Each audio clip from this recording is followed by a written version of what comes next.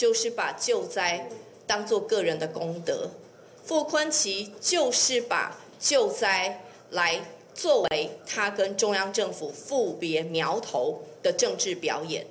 救灾是抢时机，而不是抢功劳。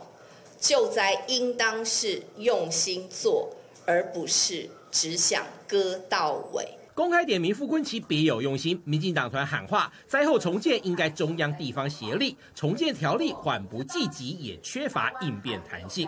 因为编列特别条例，其实就会把整个的立法时间拖长之外，最后就算这个条例能够过了，行政院还要来就这个特别条例向立法部门做报告，其实直接立刻的跟行政部门沟通。那么沟通之后，就我们的需求，请行政部门即刻提出回应。中央政府马上拨了三亿元给花莲县政府，哈，那支应救灾所需的经费。那中央我们现在也规划了两百五十亿的经费，不需要经过非常缓慢的程序。我要在这里呼吁哦。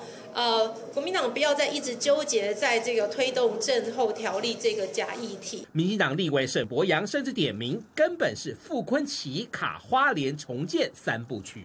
县政府还一直提供一个 QR code，问他们说：“哎，你们有没有组合屋的意愿？”